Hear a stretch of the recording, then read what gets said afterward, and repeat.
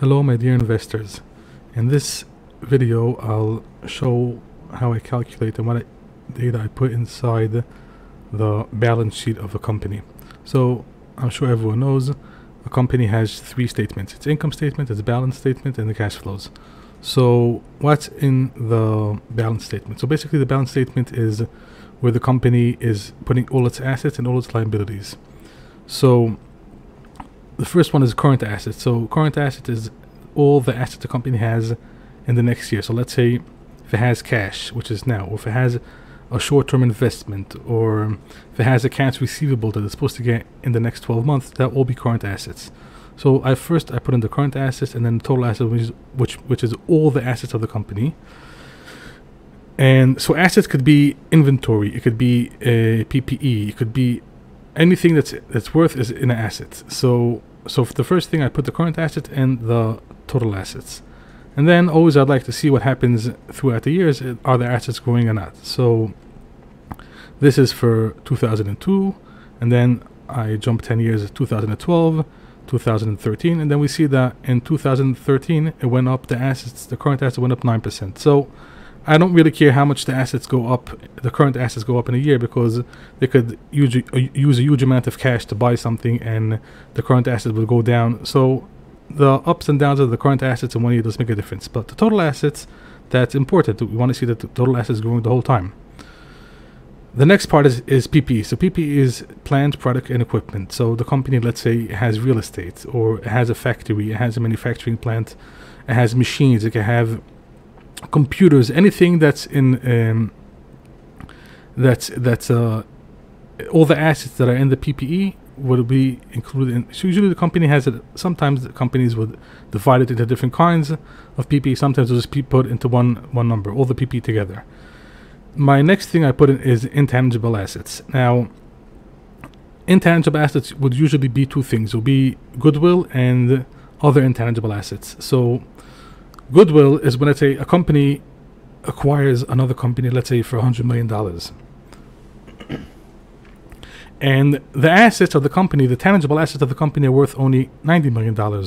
And the company paid for this, the parent company acquired the small company for 100 million. They paid an excess of $10 million more than the assets. So that's goodwill. So this also goes into the, uh, in this, in the, in the balance sheet, it will go in as goodwill. Now, there's a lot of different accounting rules.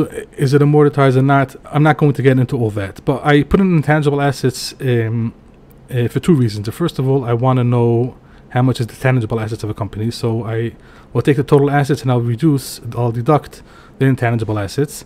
And there's another reason why I do this. I like to calculate the return on the intangible assets. That's a video for on, on a separate video. So after I put in the PP, I put in the intangible assets so it could be or goodwill or other intangible assets. Let's say a company buys um, a license or a permit, and they paid for money, but it's it's intangible. Or it could be trademarks, patents, all kind of things that all go into intangible assets. So my next calculation would be the net tangible assets. So I'll take all the total assets and I'll deduct the intangible assets, and then I'll get my number would be my net tangible assets. So as a value investor, if let's say I want to buy a company and I want to know if I'm buying a dollar for 10 cents, I'll have to um, calculate the tangible assets because the intangible assets, maybe they're worth a lot of money. But uh, when you want to buy a dollar for 10 cents, you, you're not including the intangible assets. You're looking for liquidation price. And the intangible assets aren't, they're not going to give the company anything. Maybe they would, but maybe they're not. So that's why you you would very much want to know the net tangible assets. So this is all the part of the assets: the current assets, the total assets, the PPE, and the intangible assets. Afterwards, we get the liabilities. So liabilities anything a company owns. It could be debt, it could be accounts payable, it could be all different kind of things that the company is obligated to pay out. It could be deferred taxes, it could be all different kind of things. So the current liabilities is all the things the company has to pay in the next year, and the total liabilities is the, the total debt and everything together, all the liabilities the company had, the company has. So again, we want to see, let's say, that the liabilities would be going down every year. Not necessarily. Sometimes a company would take on a huge debt to buy a company, or to acquire something, or to refine some refinance something. So that isn't some isn't always bad, but you usually would want to see a company growing without the need to grow its debt. And over here, I put in debt. Now, what I put over here is I don't want to take only the liabilities. I want to take only the long, the long term and the short term, the short term debt. I want to know how much debt the company has. So liability liabilities could be uh, if a company bought products and they didn't pay for it yet, that'll be a liability. If they have to pay taxes, that'll be a liability. But I want to know how much debt the company has, and there's a few reasons for that, and one of them I'll uh, I'll show you later is when we want to know how much comp- how much was it we how much was invested in the company. One of the biggest ratios is return on invested capital. So the invested capital would be all the assets of the company plus the debt. The company acquired debt to, to buy things, whatever it is. It could, maybe they acquired debt to buy inventory. Maybe they acquired debt to, to buy back, uh, to give out dividends, or to buy back shares, or to buy another company. So the debt is part of the investment that was invested in the cap in, in, in the company. So I put in debt besides the liabilities. Uh, interest paid is I just put it over here because I fixed out after all the ratios, but that's basically how much money the company paid interest every year. So if let's say a company took on $100 million debt and they're paying 10%, let's say, so they're paying $10 million every year. So that'll be the interest paid. So the, you want to know how much a company is paying interest. The, one of the big things you'd want to check out is how much would be the return on how much time the company earns its interest.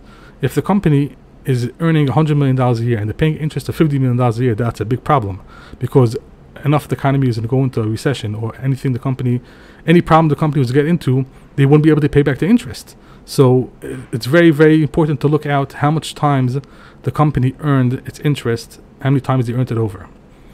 And retained earnings is, is how much money was left inside the company. So let's say a company, uh, when they sold out the stocks, they sold it for $100 million. And they took on debt for $100 million. And now the company has, they earned uh, $10 million. So the retained earning is what the money that was left in the company after all the investment. So if, let's say, a company uh, they sold stocks for 100 million and they took let's say debt for 100 million and they gained they earned 10 million so the retained earning would be 10 million dollars if let's say the company gave out 11 million dollars in dividends so the retained earning would turn into a deficit of 1 million dollars so total equity is we want to know how much is the company's worth the value of everything together that's all the assets plus all the liabilities that will be the total equity of the company and the shareholders equi- shareholders equity is all the equity of the company. That means all the value minus the debt.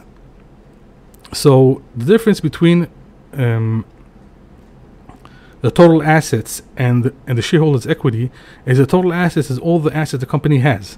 The shareholders equity would be all the assets minus all the liabilities. And over here, I also like to put in net tangible equity, which means all the assets minus all the intangible assets. So that's basically the net tangible assets uh, minus all the liabilities. So that would be the net tangible equity. And total investment is what you want to know. This number is very important. Is to know how much money is was invested in the company. So we'll take the shareholders' equity, which would be all all the the money that the company got from earnings or from from from selling stocks or all, all that equity plus all the debt. So total investment will be the shareholders' equity plus all the debt. So this is the ratio. Uh, this is the calculation. We put in all the debt plus the shareholders' equity, and that would be the total investment. I hope you enjoyed this video, and thank you very much.